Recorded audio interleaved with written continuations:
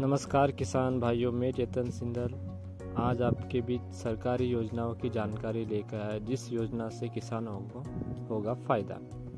मध्य प्रदेश में सिंचाई पर खर्च होंगे 900 करोड़ तो किसान भाइयों को इसका अच्छा बेनिफिट मिलेगा।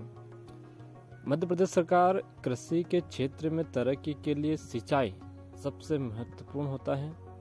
हालाँकि गर्मी का मौसम आते ही पानी की किल्लत शुरू होनी हो जाती है। ऐसे में पानी की कमी के चलते हुए किसानों को बहुत नुकसान उठाना पड़ता है।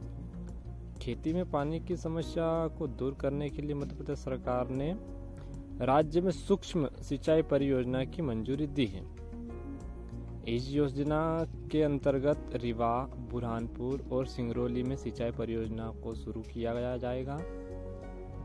इसके लिए 900 करोड़ रुपए की बजट पेश किया गया है।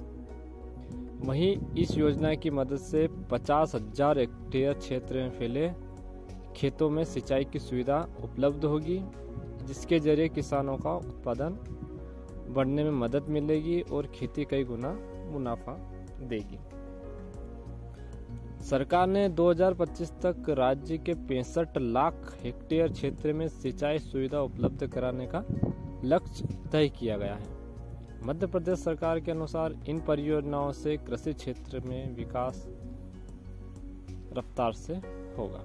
एवं कृषि एवं किसान संबंधित लाभकारी एवं सरकारी योजनाओं से जुड़ी जानकारी प्राप्त करने के लिए हमारे YouTube चैनल को सब्सक्राइब कर लीजिए, ताकि प्रतिदिन आपको ऐसी नई नई वीडियो प्राप्त होती रहे।